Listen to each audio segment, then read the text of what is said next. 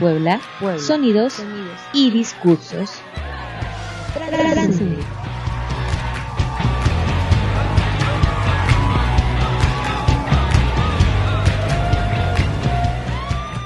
Y ahora sí, redoblamos tambores. Y nos vamos hasta la hermana república de Trashkala. Así se escribe, Trashkala. No sé, mira, ahora Se escribirá tú así. que Se escribe. Se escribirá Trashkala, se dice será la tierra del trash ahí. Y espero conectarme con la compañía de teatro estatal de Tlaxcala, con Alfonso Santillana Curiel del colectivo 246. Quiero saber quién está en la pantalla. Saludos, conéctense. ¿Quién está por ahí? Eh, hola, hola. Yo soy Samantha, también soy parte de la compañía del estado de, de Tlaxcala, Tlaxcala, muy bien, has dicho muy bien. Oye, hemos tenido muchos eventos de Tlaxcala. Es que Tlaxcala anda con todo, o sea, mira, que se andan prendidos y lo que, mira, más respeto es que se organizan. O sea, eso, mis respetos, eso, eh, la, la cuestión de que se organiza la banda y que se realiza, se realiza y creo que por eso es que, que, oye, pero ¿por qué Tlaxcala? Es que no, no puedo seguir, mi cerebro me irrumpe, ¿por qué Tlaxcala? Porque hay muchas bandas de trash metal, es la Ah. tierra del trash metal, Tlaxcala, eh, o sea, Sí. desde San Pablo del Monte hasta el infinito, bandas y bandas de metal, y sí, es la tierra del metal, Tlaxcala, trash cala. Ok, ahora sí Tlaxcala, es que yo lo asociaba con otro trash. No, pero ahora sí Trash. Samantha, cuéntanos qué están haciendo ustedes allá. Pues mira, no, no venía para platicar de rock, eh, ya será en otra ca- ocasión. Ya será, ya será. Pues mira, venimos para platicarles un poco de lo que estamos haciendo en el estado. Básicamente, el buen Poncho, eh, la buena Cel- Ana Celia Osorno y yo, su servidora Samantha Moreno, eh, somos parte de la compañía del, de teatro del estado de Tlaxcala, que es una compañía que surge de Secretaría de Cultura, eh, que pertenece al Teatro Xicotencal y que justo en nuestra manera de creación, pues mezclamos eh, nuestra metodología con feminismos, interseccionalidad, poscolonialidad para presentar teatro a, a la comunidad tlaxcalteca, básicamente. Y pues ahora estamos a punto de estrenar ya el primer montaje de la compañía, ya después de cuatro meses de trabajo. Eh, este 2 de septiembre se nos hace por fin estrenar en el Teatro Xicotencal una obra que va dirigida principalmente para las infancias, porque pensamos que, pues sí, en Tlaxcala hay mucho teatro, pero es importante también enfocarnos en, en las infancias, que a veces es un sector que, que consideramos está un poco olvidado. Y bueno, estamos presentando ahora el Jay Totol, que es una obra de la dramaturga Verónica Maldonado, muy montada en Tlaxcala, pero también en Puebla. Tiene un trabajo maravilloso en cuanto a dramaturgia. Y pues eso, digamos, adelantándoles un poquito, pues tenemos nuestro primer estreno ya este 2 de septiembre en el Teatro Xicotenca. A ver, a ver, a ver, a ver, a mí aquí como que me causó algo ruido. Es uno de los teatros emblemáticos en todo el país, ¿no? El Teatro Xicotenca. Y además tiene una compañía, que e- eso ya es interesante, o sea, a veces no está acompañado la compañía de teatro con que tenga un foro, eso es maravilloso. Exacto. Y además, ¿qué teatro? O sea, caray, eso es un privilegio, un gran privilegio. Compañía de teatro y además el Teatro Xicotenca. Sí, sí, pues es, justo es una iniciativa por hacer eh, eh, la primer compañía institucional del Estado. No se había dado, ¿no? En algunos lugares del país ex- existen las compañías institucionales. Esta es la primera vez que se hace y además la primera vez que dos mujeres están a cargo de la dirección de la, de la compañía como estructura, pero también del montaje escénico, ¿no?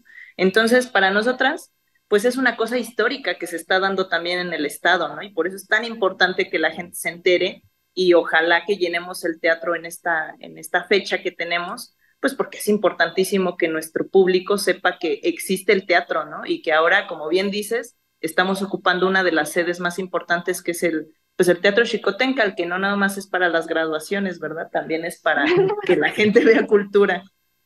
También para lo que fue hecho. Sí, cuando me lo contaste dije, a ver, espérense, paren la prensa, paren las máquinas, esto es algo, es algo importante, además, este plus, ¿no? Dos mujeres dirigiendo que, que también va trazando los nuevos caminos, eh, las nuevas filosofías, eh, pues ya, ya, lo hemos hablado mucho en estos años, ¿no? De, este asunto, pero hay que trabajarlo, hay que ser constantes en ello. Eh, ¿qué, ¿qué, relación puede tener o qué ventajas o desventajas tiene que el Estado auspicie propuestas que pueden ser también críticas, que pueden ser contraculturales? ¿Cómo puede ser esta relación de, de, lo, de lo, crítico con, con lo institucional? Pues mira, sinceramente sí ha sido un trabajo bastante eh, pesado en el sentido de que pues nosotras y por ejemplo el buen Poncho pues somos artistas independientes, ¿no? La mayor parte de nuestro trabajo siempre ha sido contra, ¿no? contra los gobiernos eh, y los discursos hegemónicos. Entonces, esta vez eh, estamos de alguna forma apropiándonos también de espacios en donde decimos, bueno, eh, históricamente eh, en estos sectores de pronto son ocupados por gente o que si bien no tiene las herramientas artísticas como para entender cómo funcionan ciertos mecanismos para los mismos artistas, eh, también a veces sucede que son espacios ocupados por ciertas, ciertas personas que han cometido agresiones ¿no? institucionales, hay agresores en el teatro, Tlaxcala tiene un tema bastante particular en cuanto a violencias artísticas ¿no? o en espacios institucionales. Entonces, de alguna forma que Ana Celia y yo estemos en este espacio junto con una intención de meter nuestra metodología que tiene que ver con feminismos, ¿no? Como repensar cómo podemos trabajar el arte sin violencia, eh, formar protocolos, dar capacitaciones al elenco, ¿no? Eh, en la primera etapa que tuvimos de trabajo de creación, básicamente nos asociamos con algunos espacios que se encargan de analizar las violencias institucionales, como el colectivo Mujer y Utopía. Entonces, de alguna forma ha sido como mezclar nuestras herramientas, lo que hemos aprendido en la independencia, y llevarlas al espacio institucional, que no, no ha sido nada fácil. La verdad es que sí, de pronto nos topamos con ciertas trabas que ya conocemos cómo funciona de pronto en el país, ¿no? Pero que si no hacemos este ejercicio de resistencia, eh, pues vamos a perder también la posibilidad de dignificar nuestro trabajo, nuestro oficio, que es la actuación en este caso, ¿no? De alguna forma, algo que estamos también buscando es que el, hecho de estar ahí es que la gente también comprenda cómo funciona el, trabajo del teatro, ¿no? No solamente es la representación, sino también hay toda una cosa detrás que implica una preparación y como en este caso la compañía se tuvo que preparar incluso con capacitaciones de género, con capacitaciones especializadas en el discurso de la obra eh, y bueno, el entrenamiento actoral, ¿no? Pero sí, ha sido un trabajo complejo, pero creo que eh, puedo decir que la parte artística, ¿no? Ha favorecido tanto que nos ha mantenido como grupo más unido, más eh, con la intención de que, con más razón, el trabajo que llevemos a la escena sea político en todo sentido, ¿no? Y que tenga un impacto de verdad en la sociedad laxcalteca. ¿no? Ay, no, mira, yo me quedé sin palabras, o sea, qué poderoso está el discurso que, que, que traen, neta, o sea, me, me, me fue el viaje, porque eh, realmente eh, no estamos hablando de que solo se va a hablar de un discurso, ¿no? Sino que se está realizando el discurso en la práctica, ¿no? O sea, esta cuestión que dices que se instaura en los protocolos, que se realice todo esto, yo creo que yo creo que sí ha de haber sido más laborioso, como dices, ¿no? Más chamba, pero creo que sin duda eh, las está llevando como a un, a un punto de conciencia, ¿no? Y creo que coincide con, con lo que se decía en la entrevista anterior. Y, y surge mi duda, bueno, no duda, sino sería como el planteamiento de eh, tú cómo ves estos caminos, ¿no? Porque es lo que te decía, ¿no? O sea, yo, yo reconozco un, ahora ya se llama otra escala, eh, por una cuestión de que se, de que se organiza, ¿no? Pero ahora estamos viendo también mucho eh, una presencia eh, más política femenina, ¿no? O sea, se está organizando también para las cosas que hacen allá. Entonces, ¿tú cómo pronosticas o cómo ves estas situaciones después de esto? Pensemos en cuál es el efecto que creas o buscas que es que se incida después de esta proyección? Pues mira, lo que esperamos principalmente y vamos a, ver después de que se dé el estreno, pues es que la compañía viva, ¿no? Que no se quede nada más en un proyecto eh, con buenas intenciones, sino que tenga la posibilidad de verdad de ser un espacio que, pues que sea para trabajo de los artistas, ¿no? Que se involucren escenógrafos, vestuaristas, otro tipo de directores y directoras, actores y actrices de diferentes partes del país que sepan que puede haber un lugar donde pueden dignificar su trabajo, que es lo que nos está costando bastante, ¿no? Hacer entender a las instituciones que somos importantes. Entonces, eh, esa es una de las cosas que nos gustaría, ¿no? Que la compañía viva, también nos gustaría que todos los temas que se trabajen realmente tengan un peso eh, político, por ejemplo, la obra que estamos trabajando ahora, que se llama Yey Totol, reflexiona sobre la crisis hídrica de Tlaxcal. Eh, tenemos un problema terrible, ¿no? En el tema de los ríos, en el tema de las lagunas, eh, están muriendo básicamente, ¿no? Y no se ha hecho nada al respecto, no se ha llevado a la reflexión. Nosotras pensamos que el teatro puede ser una gran herramienta, ¿no? Como para que la sociedad de alguna forma se espeje en la realidad que les estamos presentando. Pensamos que si logramos que esta compañía viva, que sea una fuente de trabajo también para los actores y actrices de manera digna, lo más digna posible, eh, también a partir de eso, pues va a tener la posibilidad de mostrar discursos que realmente generen un impacto, ¿no? Hay muchos temas en Tlaxcala que atacar, ¿no? Este, el tema del agua es uno de tantos, ¿no? Eh, como saben ustedes, el tema de la trata de personas también siempre se ha estigmatizado justamente a Tlaxcala como uno de los focos rojos, ¿no? Pues tenemos que ponerlos en la mesa, ¿no? Y si no tenemos una estructura sólida, que en este caso podría ser la compañía, y digo podría porque estamos empezando, eh, pues difícilmente podremos también ser la plataforma para seguir exponiendo estos discursos, ¿no? Que esa es una de nuestras intenciones.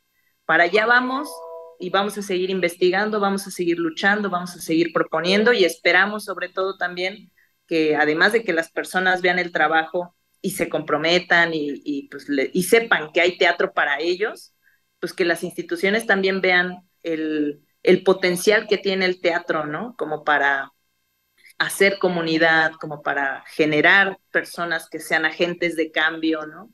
Sí, es, de pronto pareciera que es un sueño, pero creemos, ¿no? En este proyecto y al cual estamos apostando, pues, todas, ¿no? Desde nosotras en la coordinación, pero Poncho en la música, pero la vestuarista también pensando en cómo resolver, ¿no? Y sobre todo los actores y actrices que están dando, pero el corazón y la garra ahí en la escena, ¿no? Qué potente proyecto, redondo, ejemplo. Hay que visibilizarlos lo más que se pueda, eh, que de eso se trata este programa y bueno, lo seguiremos haciendo.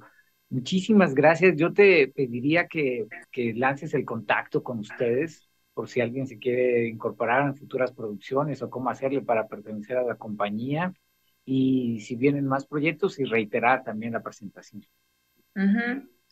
Pues eh, me gustaría contarles brevemente sobre la obra que se va a estrenar, eh, que se, repito, Jay Totol de Verónica Maldonado.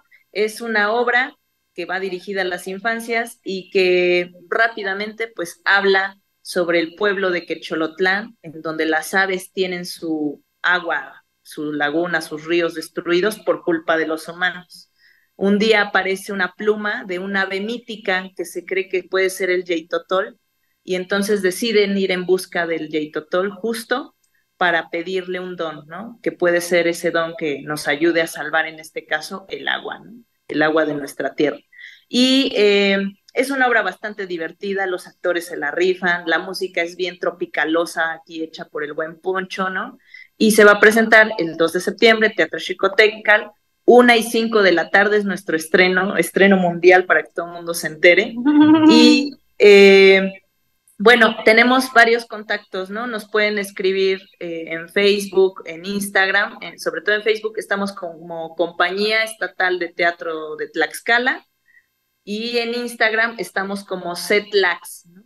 Eh, normalmente nuestras siglas son CTT, entonces nos pueden encontrar muy rápido, ¿no? Compañía Estatal de Teatro de Tlaxcala fácil llegan con nosotras y ahí estamos a sus órdenes para que vean nuestra cartelera y esperamos de verdad que en cuanto haya más audiciones eh, o lancemos alguna convocatoria para buscar diseñadores, gente creativa que se quiera sumar al proyecto, pues que le entre con muchas ganas, ¿no? Yeah, pues ya está el contacto, banda, contacto de cómo poder sumar este proyecto o esta buena vibra que traen, esta vibra de conciencia y de despertares. Eh, ya saben, no se lo puede perder. El 2 de septiembre nos vemos allá, porque no, yo, o sea, yo definitivamente voy a caer. O sea, por favor, es un hecho. Eh, eh, va a estar muy bueno. Creo que es hermoso cada proyecto que se dedique a las infancias, porque la realidad es que a nadie les importa, aunque hay muchos. Entonces hay que cuidarlos mucho. Y antes de terminar, no sé si por allá, obviamente, o Abraxas quisiera hacerle alguna pregunta aquí a la buena. Sí, mi pregunta va más hacia la parte de producción, ¿no? Como siempre, este asqueroso hablando de eso, en el aspecto de que a mí me gustaría como eternizarlo, ¿no? Eh, porque más allá de, me gusta la, forma en cómo, cómo, cómo la, digamos, cómo la publicitan, ¿no? Pero creo que también es importante si podemos tener como la imagen de eso para hacer junto con los, eh, no sé, las redes de las que acabas de mencionar y hacer esa triangulación, porque al final eh, las personas que van o las que llegan ahí van a llegar por porque ven, ven ese, ¿no? También asumir que eso, ¿no? O sea, si se puede, que, que, me dieran esa facilidad de que yo aparezca ese día en, su teatro.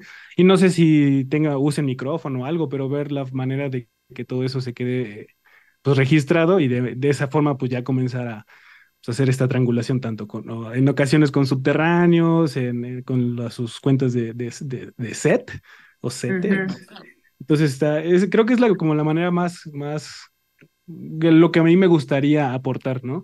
Porque me, me gusta la historia que cuentan, ¿no? O sea, ahora que hiciste la, la breve sinopsis, eh, está bonito, creo que necesitan, eh, pues necesita llegar a quienes, para quienes se los están haciendo. Y la verdad es que luego los niños, y, y en todos lados, ya ni siquiera es regional, pues eh, las audiencias ya están más sujetas a la pantalla, ¿no? Y sí podemos también como atacar por ese lado en el aspecto de que pues no solamente les lleguen imágenes random, sino también pues estar ahí, ¿no? Pero bueno, esa es, esa es mi propuesta, si es posible, pues aparecer por allá y nada más que les pasemos los, los datos. Uy, sí.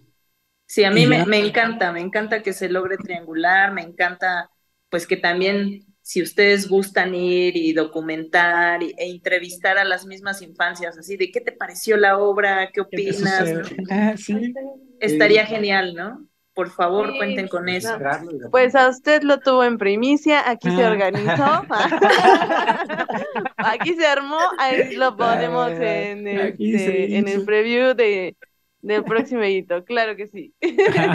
gracias, no, muchas gracias a ustedes. Y interesante. Muchísimas gracias. Pues ya está la invitación a la obra. Eh, pues gracias por escucharnos.